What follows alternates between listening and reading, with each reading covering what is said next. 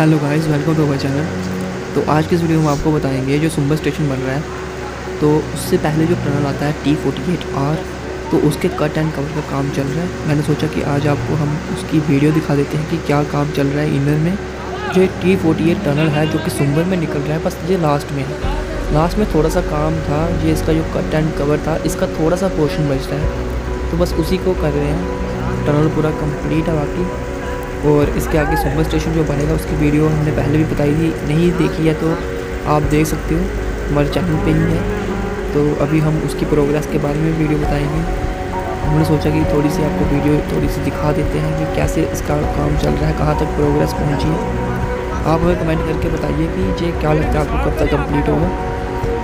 Workers काम हर time पे लगे होते हैं। आगे भी काम लगा हुआ है, जो स्टेशन बन रहा है ये भी स्टेशन भी पिलर्स के ऊपर बनेगा आगे वो भी हम आपको दिखाएँगे। अगर आपने नहीं देखा तो आप हमारी वीडियो दे सकते हो। मैं ऊपर आई बटन में दिखा देता हूँ आपको। और आप ऐसे भी हमारे चैनल को पे जाके देख सकते हो। डिस्क्रिप्शन में भी लिंक दे देता हूँ। दोस्तों, ऐसी वीडियोस देखने के लिए आप हमारा चैनल सब्सक्राइब कर सकते हो।